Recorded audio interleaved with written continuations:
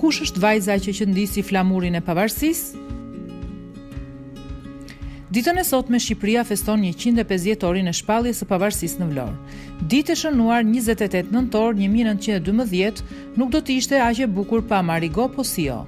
Atdhetarja e shquar, me dorën e saj ka qëndisur flamurin dhe shqiponjën e flamurit që është ngritur nga Ismail Qemali në Vlorë, më njëzet e tetë nëntor të vitit një mijë e nëntëqind e dymbëdhjetë. Por kush është Marigoja, vajza e pavarësisë? Ajo u largua nga vendlindja e saj, Hoçishti i Korçës dhe u vendos në Vlorë. Shkak i braktisjes së vendlindjes ishte persekutimi që po i bëhej atdhetarëve nga reaksioni osman. Në vitin një mijë e nëntëqind e katër bashkë me të shoqin u vendos në një shtëpi të lagjes Muradie, në rrugën që mban emrin e gazetarit francez Justin Godar. Shpejt ajo u fut në vatrat vlonjate me idenë e saj përparimtare, por edhe me qëndismat që bënte. Kur solli plaçkat nga Korça, në fund të sëndukut kishte një flamur të qëndisur me dorën e saj. E kishte mbuluar me gazeta të vjetra të ngjitura me brumë, që të mos diktohej pas kontrollit. Ajo u thoshte vajzave vlonjate, Dëgjoni vajza, në pajën tuaj duhet të keni medoemos një flamur dhe atë e qëndis unë. Kjo intelektuale e shquar patriote e flaktë, gjente kohë të lexonte libra dhe të shfletonte gazeta. Ishte e vetmja grua që aktivizohej në veprimtaritë patriotike të kohës, duke u bërë një shembull për masën e grave.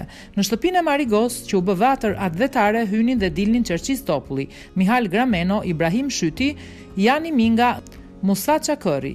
Në shtypin e kohës citohet se Marigo Posio mori pjesë në Komitetin e parë që u formua në Vlorë për shpëtimin e atdheut dhe ndihmoi me të holla. Fundi tragjik i familjes së saj. Bashkëshortët Jovan dhe Marigo Posio që do të lindnin tre fëmijë në Vlorë, Do të lindnin dy vajza dhe një djalë. Vajza e madhe ishte bashkëpunëtore e ngushtë e nënës së saj dhe bashkërisht do të botonin gazetën Shpresa e Kombit. I biri ishte artist dhe merrte pjesë në koncerte kombëtare. Marigon e ndëshkoi në mënyrë më mizore fati. Ajo do të përjetonte dhimbjen më therëse, pasi do t'i vdiste djali i saj i vetëm, teksa kthehej nga Amerika. Dhimbjet do të pasonin njëra-tjetrën për të dy vajzat e saj, që do të vdisnin nga tuberkulozi. Goditja përfundimtare ishte edhe për vetë Marigon, e cila u sëmur nga tuberkulozi dhe u detyrua të mjekohej në Vjenë. Me gjithë dhimbjet që kishte në trup në atë kohë, ajo mblodhi forcat dhe bashkë me aktorin e madh Aleksandër Moisiu bënin veprimtari në dobi të Shqipërisë. Në gusht të vitit një mijë e nëntëqind e tridhjetë e dy mbylli sytë shqiptarja e shquar Marigo Posio.